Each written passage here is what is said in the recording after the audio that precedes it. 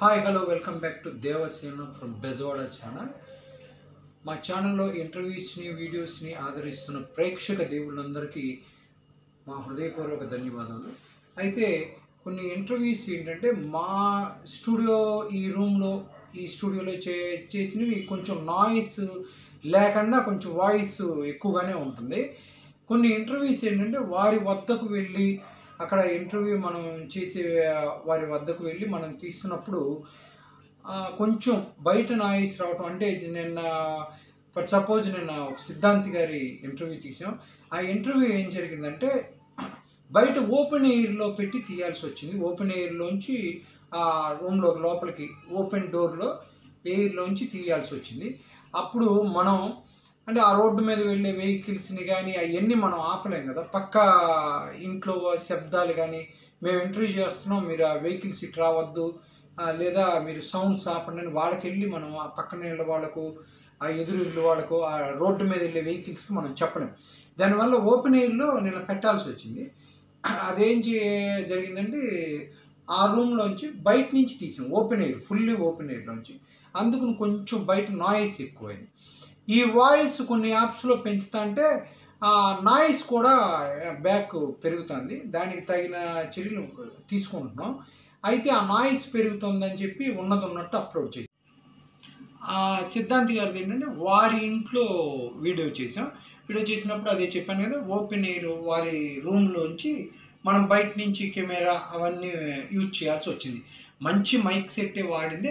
ఆ mic set బయట noise లాగింది. మేము చెప్పింది అది.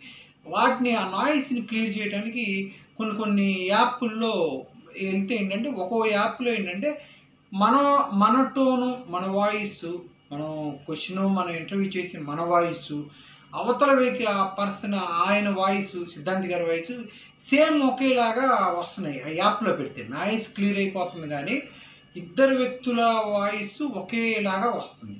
కొన్ని యాప్స్లో ఏమవుతున్నాయి అంటే వాయిసే మారిపోతుంది. వాయిస్ చేంజ్ అవుతుంది. వెనక నాయిస్ రావట్లేదు కానీ వాయిస్ చేంజ్ అవుతుంది. అందుకే మేము అంటే ఇంకా ట్రై చేస్తున్నాం.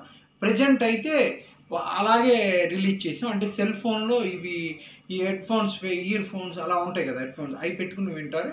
బిగ్ స్క్రీన్లో మాత్రం చాలా బాగా వస్తుంది కంప్యూటర్స్లో అయితే వీటిని big screen computers laptop big screen ఎల్సీడీలో వచ్చే యూట్యూబ్లో వాటిలో చూస్తే చాలా క్లియర్గా ఉంది వాయిస్ చాలా బాగుంది.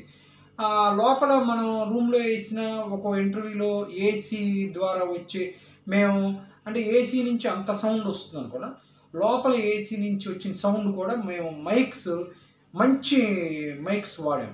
ఆ మైక్స్ ఏంటంటే ఇంత సౌండ్ ఉన్నా లాగేసుకుంటున్నాయి. ఆ మైక్ లోపల ఏసీని లాగేసింది ఒక ఇంటర్వ్యూలో.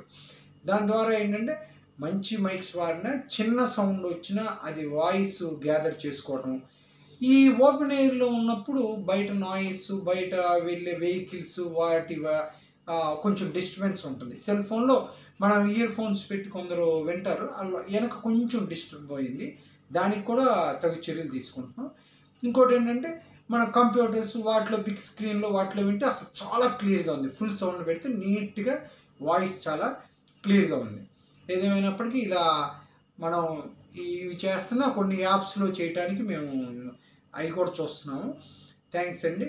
మా ఈ ఛానల్లో ప్రసారం అయ్యే ఈ వీడియోలు ఇంటర్వ్యూలు అవన్నీ ఇలా ఆదరిస్తున్నందుకు ప్రేక్షక దేవుళ్ళందరికీ కూడా మేము మరొకసారి హృదయపూర్వక వందనాలు ధన్యవాదాలు తెలియజేస్తున్నాం. థ్యాంక్ యూ అండి. Thank you so much. ఓకేనండి థ్యాంక్ యూ.